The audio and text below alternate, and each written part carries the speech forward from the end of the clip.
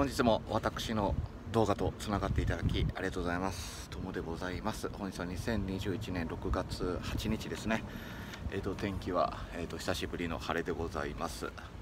えーと今日昨日ですかね。昨日えーと、と門倉さん、えーと、中日の2軍コーチだったと思うんですけれどもが、まあ、自宅に、えーとまあ、無事発見されたっていうお話があったんでその話をしたいと思います、まあ、こう急にあの僕は野球が好きだったんであのアゴクラさんって言われててあの球界を代表する投手だっていうのも知ってましたし、えっとまあね、陽気な方で、まあ、明るくてみたいな方なんですけど、まあ、その方急に、えっと、球団に、えっと、退職届け出してそれから3週間ぐらいですかね、まあ、失踪してって話があって。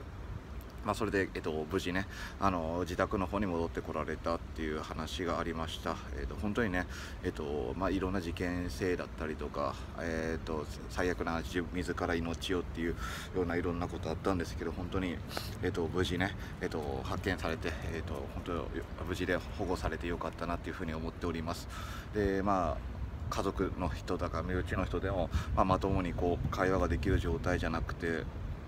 なんで失踪したんですかっていうのも受け答えできない状態で、えっと、お医者様に話をしてうつ病という診断を受けて、えっと、自宅療養という形になってるみたいです、えっと、僕もなんですけど今本当にこの、えっと、5月の中頃から、まあ、もっと言うと5月の頭ぐらいからかもしれないんですけどこの1ヶ月すごく体調が悪いんですよ。で、えーと、ゴールデンウィーク巣ごもりがあってで、えーと、今年梅雨が少少し早く入ってます少しというか2週間 ,2 週間3週間。で気圧の問題もいろいろあったりとかしてで深田さんだったりとかうつ病を告白してる人、えーと、リトグリさんも、えー、と多分病状が悪化して公表するという形になって今その非常事態宣言、えー、とコロナプラスこの梅雨が早くなってるっていう状態でなんかこう心とから心のバランスを崩してる人ってすごく多いんじゃないかなって思うんですよ。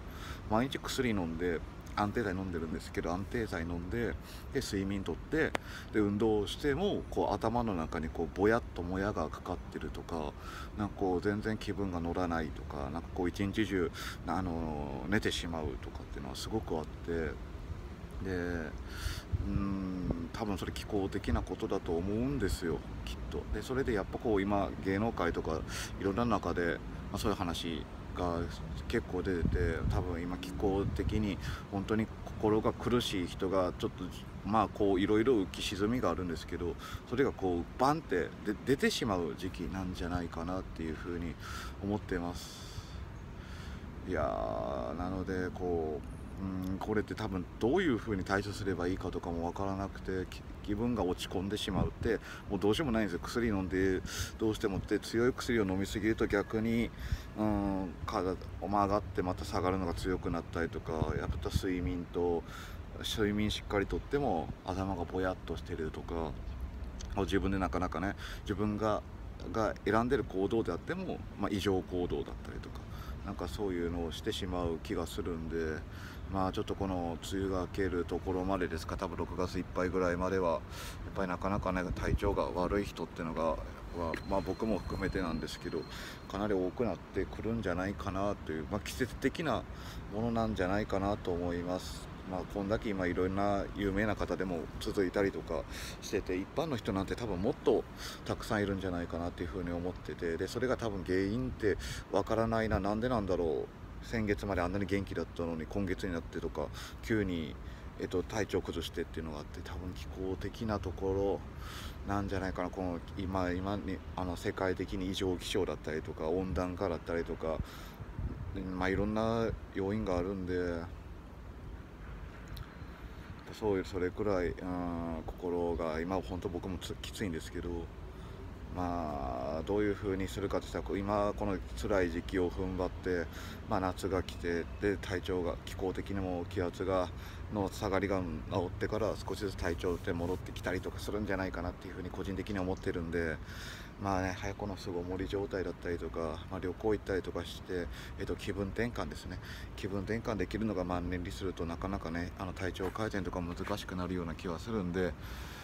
あ、ちょっとね、なんとかしていきたいかなと思っております。で、今回、えっ、と、門倉さんがね、えっ、と、無事保護されてよかったなというふうに思ってます。まあ、あとは、その、いろんなことで、あの、球団側に説明しないといけないとか、いろんな報道がありますけど、でも、実際や自分がやると辛いと思うんで、まあ、そういうのは代理人だったりとか、まあ、それで、えっ、と、やればいいと思うんで、とにかく、本当に多分かなり、かなり重度なな状態になってると思うんで、本当に無理をしないで、もう何年間かけてでもいいんで、ゆっくりと,、えっと休まれて、えっとメディアとか、まあ、SNS だったりとかそういうのもしないで、えっと完全休養って形で、えっと自分の心と体をね、えっと戻すのに時間使っていただければいいかなというふうに思っております。はい、ということで今回これ終わりたいと思います。それでは失礼します。バイバイ。